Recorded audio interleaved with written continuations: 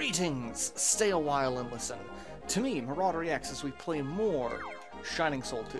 Alright, so we are going to go back to town, and the Angel Wing is interesting. It acts kind of like a portal, a town portal in Diablo, where when you're in a dungeon, it'll take you back to town, and there's the portal that takes you back to where you were in the dungeon. Angel basically does the same thing. She will pick you up and carry you from the dungeon back to town, and then you can use her and she'll carry you right back to the same spot. So, um, if you leave town, she's like, "Screw it, I'm off. You don't need me. I'm gonna, I'm gonna go away." Uh, and so you can't, if you leave town, you can't use her to get back to where you were in that dungeon, because uh, it just kind of resets all dungeons. So we're gonna come up here, and we are going to identify some stuff. So this lovely young lady will identify things for a fee, of course. So right now it's not super expensive, but I, I feel like it gets more expensive as time goes on, and the odds of you spending money to identify something that's not super useful is higher. Um, so like we get Bandana of Power plus two, which that's actually not bad. Um, we get summon level 1 of wisdom. We can't do anything with that, so identifying that was kind of pointless, but because it does have a, a subtitle, it's it's got a little bit more money behind it. Beret of Death. Now that looks really good, but it's not. Bracers plus one. Anything of death, it's cursed. So that means every time we attack, something bad happens. Like it'll either like drain SP or HP or we, we don't want we don't we don't want cursed items are fun, but no. Uh, let's go ahead. Uh, we can equip that. That that's not a bad substitute because like it's only a couple of points. Well, I mean it's like 13 points behind that uh, attack wise but we also get two extra strength and we don't we don't run the risk of dying. Uh, plus bracers plus one. So let's move. No. All that. Okay, so that we can sell. So we're going to do that. So 713 gold. I mean, it is cursed. There are things that will nullify curse, too, but by the time we find one, there is a high likelihood we will not need that piece of equipment anymore. Alright, so we've got five medical herbs and an angel wing. Let's go ahead and go for six. And then we're going to come over to this gentleman here. I believe that's a gentleman. I don't know. Uh, and we are going to deposit things that we don't need. So the force ring is actually an item that works for multiplayer, which is something I haven't really talked about. There is a multiplayer to this game. I mean, I am playing it on an emulator, so I probably could play it multiplayer, but it's it's not not something I I can do readily at the moment. So I could get a better weapon. 350. Oh, I could get the claw plus two. 36. 30. Really? Okay. Um. Uh, I I think I'm all right for now. For 350 gold, that that's all right. And then I'm I'm pretty sure I'm good on armor, especially since I've got something that, you know. Cotton gloves of ward. Oh, that one just has extra 5 defense, but it's also 1700 gold. That's the thing. So many of these things are going to be so weirdly priced. Alright, so we'll go back.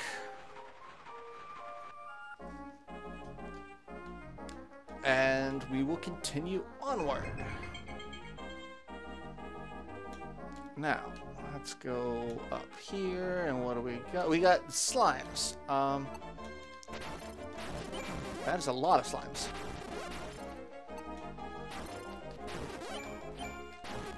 Okay, slimes are dead. Do you... Oh god, there's some ogres in here. There's three ogres in there. But my stun seems to be working. You can see the little uh, stars circling around his head. That shows that he has been successfully stunned. And we got a crate with a red shoe. That will always be there because that is a that's a quest type thing. Um, some hobgoblins. I do love that. I don't believe this game was done by Camelot, but the the enemy sprites do look like they were pulled from the Camelot versions. And I think that's adorable. Like, I look at those hobgoblins like, yeah, that reminds me of a hobgoblin from Shining Force 2. There's that guy over there. I didn't, I don't think I went over here. Is there anything up here? No. I felt like there was something up there. I felt like there would be something up there, but there's not. So, let's go kill this other guy, and there's a treasure chest over here, and you gotta hit it. Oh, I also haven't used my level ups. And hey, we just got a cat claw. So, kind of glad I didn't spend the money on that. We haven't done our level ups. Alright, so, um...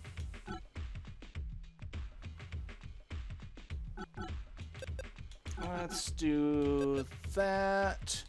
Kind of keep things somewhat even. And so now if we wanted to put more in stun, I'd needed to get another skill point. And so that's actually kind of what I'm going to do. I'm going to build up stun rather early. I also should probably do healing.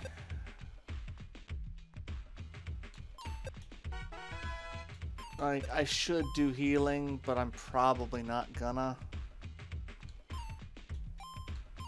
Uh, and then critical is also another one that's, that's kind of useful.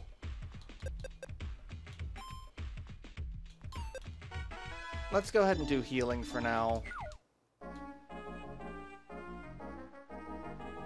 And so yeah, we will heal. 1 HP a tick. Kind of like RSP, so that's that's good. That'll save us a little bit on uh, healing items. Oh, what was that?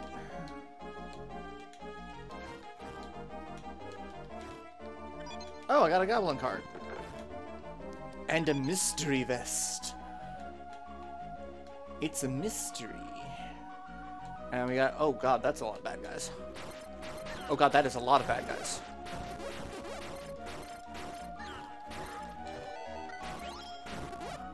And we killed the enemy that was needed for that, so I'm going to wait a second just to heal back up to full. Because we've got a boss fight coming up soon.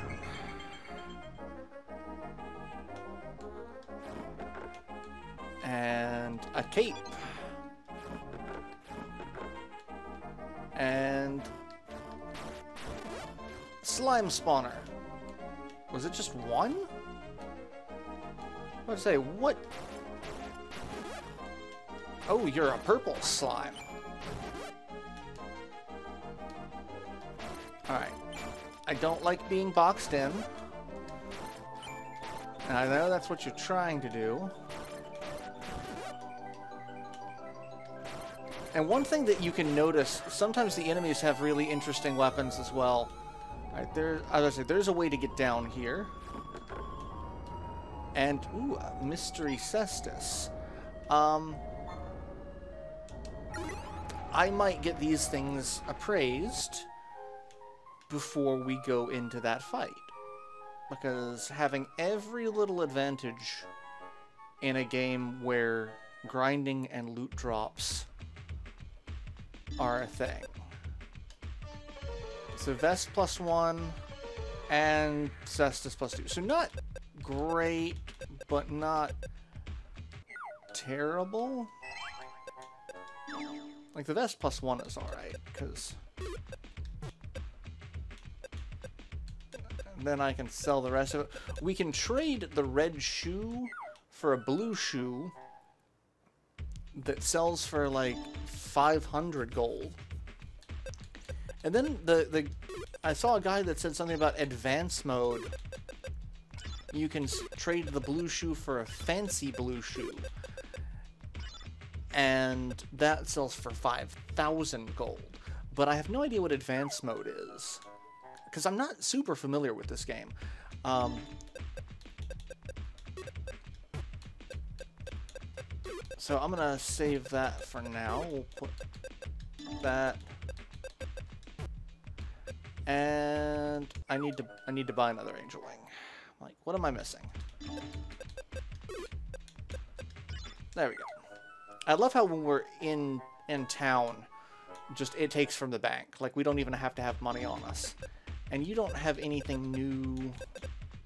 You won't have anything new until we complete Goblin Fort. So, let's go back and fight this boss.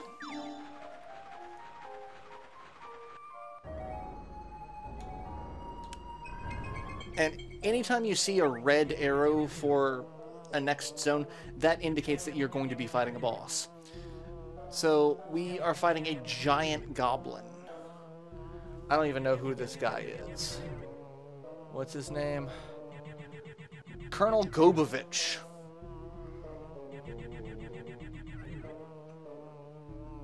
Alright, he doesn't look anything like a, a, a Camelot designed character. Alright, so he is going to belch fire, then get dizzy for a second, then he's going to start swinging his axe around, and he's going to fall over. And then he's going to belch fire. However, he sucks. I hate this fight. His hitbox is so insane. His attack speed is incredible.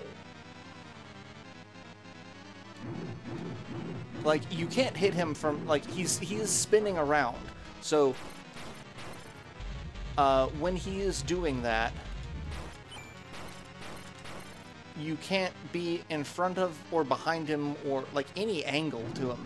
And it's really hard to see what his, uh, his hitbox is because that's not what I intended to do. Uh, because he only has like five frames of animation total. Like, they literally just flipped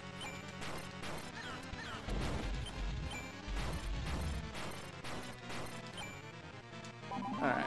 They literally just, like, you know, flipped vertically his attack pose. Like, and I hate that that can hit you multiple times, too. The girl has been moved to the wizard's to Wizari's palace. Okay. Wizari senses a balance between light and dark. To retain her power, she will sacrifice the girl. Captain Gully has the prison key. You will need it in Wizari's palace.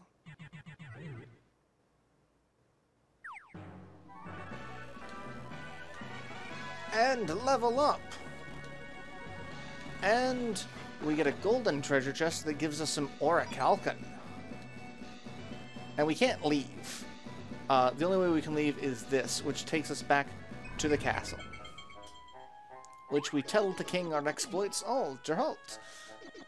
You made it through the fort safely. Excellent. So they were planning an attack. And Rosaria has Camille, that evil witch. Only way to her palace is through the graveyard. I hate asking you this right after you've returned. Go to Giant's Graveyard. Sure.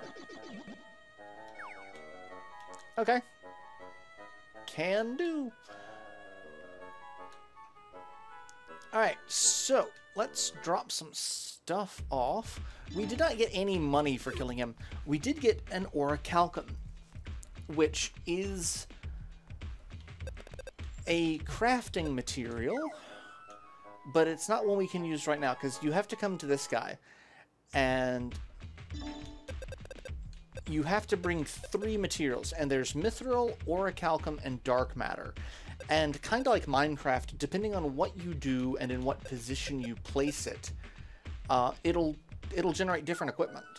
Um, so like you've you've got you know a, a lot of possibilities. So like orichalcum, orichalcum, orichalcum, orichalcum, orichalcum, mithril, mithril, orichalcum. Like it's it's all very dependent on where you place things. So uh, keep that in mind for when you have some of these materials, because you could have one of each, and you can do something with each of those. Uh, but depending on the the positioning, it's going to become something very different. So thankfully, playing on an emulator, I can mess around with save states to kind of see what I can do. Ooh, a bronze claw. That might actually be worth it. Um, cat claw of old. Charge attack minus SP minus two. Maybe bronze claw plus two. I could probably afford that if I really tried. Um, I'm not gonna write the second, but we also did level up. So let's go ahead and...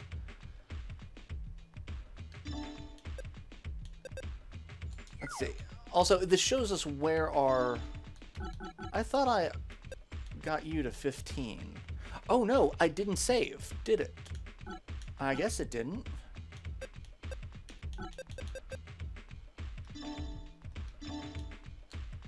Okay, well, that's uh, that's okay.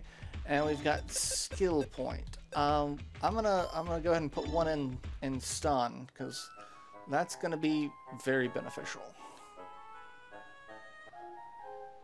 And we don't need to heal. We can just leave.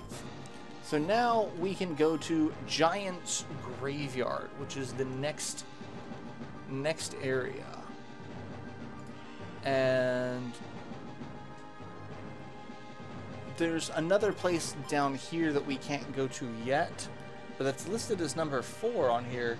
I don't know how to get there. It's not a, a dungeon area.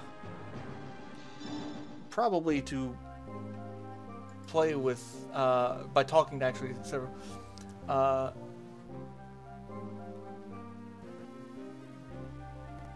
Oh, okay. So there is a there is a slight thing there. Let's um, Oh, I, I guess I can't. I can't leave here. It won't let me just leave. Okay, well, we'll do that. Apparently, once you finish Goblin Fort, Grandma Khalida will appear in the hall. Um, ow. What are you guys doing? A cotton hood. Uh, and then there's uh, monsters we can kill to get uh, a a side quest. So, all right. So let me bring up the map for this place. Giant's Graveyard. Okay.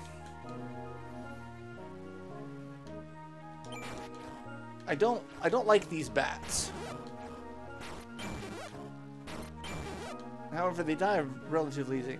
So one thing that this game doesn't really show you well is pathways.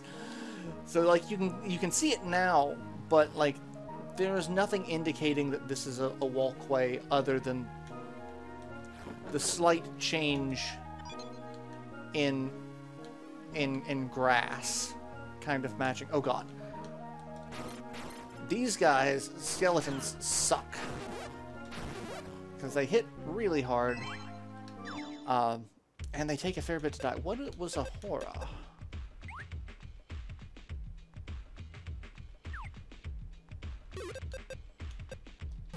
It requires claws. So, oh, so that's just a, that's just a, a fancy set of claws. Okay. I can, I can dig it. And break a gravestone, and we're gonna go down into there. And mummies. Mummies alive. And then, like, there's other things. The, the game is also not really good about telling. It's like breaking that one bookshelf to get the prison key. Like, there's so many other things that look like you should be able to interact with, and you can't. And hey, I got a steer. And hey, more money. Uh, I was about to say, I feel like that was a trap. And it was. And I'm just gonna barrel my way through you. Because I don't like any of this. Oh, God. You... Ow! You hit real hard. I don't... Oh, no. You hit very hard. Why are you... Why are you not dying? Why must you hit me so hard?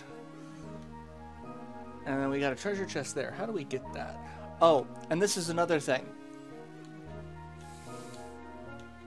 You can go out of bounds because you can kind of see there's stairs here. Oh, God, you shoot fire. The hell? And some more bracers. Whew, this is why I said I'm probably going to go back and redo the Goblin Fort. uh, because holy crap. In fact, I may get to... I may level up. How, how close am I to level? It doesn't really tell. It just tells you what your XP is. It doesn't really say what your to next level is. I don't like that. Um, yeah, I don't like that at all. Oh, hey, bats. However, I can I can kill them in one hit with a critical. I like that. I don't, however, like this.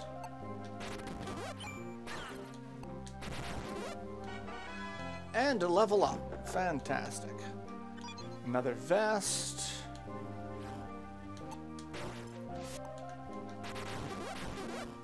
Alright, I was about to say, you can shoot fireballs. I don't... I don't want to do this. Okay. Uh, let's go ahead and level up.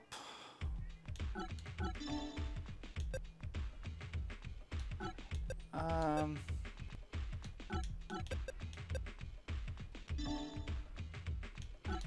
And we'll put another point in stun. And we are going to go back to town. There's going to be a lot of going back to town in this, just as a heads up. We're going to be going back to town a lot. Alright, let's go ahead and get some stuff identified. Cotton Hood of Fire Resistance, Bracers plus 2, Vest of Ice Resistance plus 2, so that's actually better than what we've got. Um,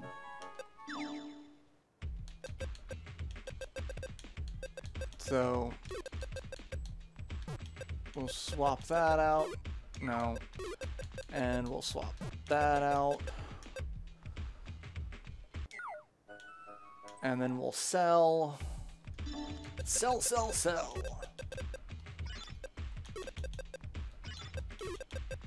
And buy a couple more of these. Don't really need a goddess tear, but I'll hold on to it. What is this? Adds one rose to weapon slot. A case. Alright, not that I need that because I... That's, that's useful for jobs that have more than access to two things. Uh, as a as a brawler, we only get claws and daggers. Uh, but if you were playing as a spellcaster, where you have like four different possibilities for spells, plus uh, you know using weapons like rods or daggers, uh, having access to that would be beneficial. However, it's not something we particularly need. 1033. Uh, can I can I buy can I buy that? That is also 11,000. I missed that. 11,000. I am one gold short of that. I could sell the angel tear and buy it. But it's also the same as what I just found. So, uh, so yeah, I'm going to go ahead and end this episode. I'm going to go ahead and redo Goblin Fort, and I'm going to get back to uh, the third section of the graveyard, and I'll pick up from there on the next episode. Uh, that way, I've I won't add any of my level up skill points or anything that I get. Um,